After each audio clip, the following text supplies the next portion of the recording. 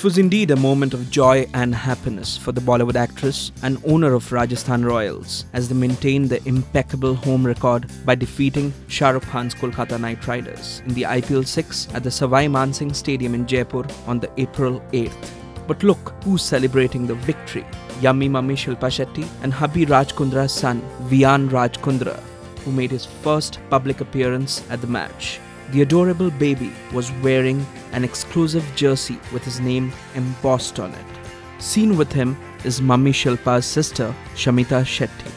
Well, Shilpa had earlier mentioned that Viaan will attend the match in Jaipur as it was their home ground and they wanted to make his first public appearance. Adorable, isn't he?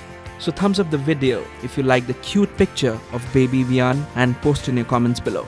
This is a report by Abhishek Haldar for Bollywood Now.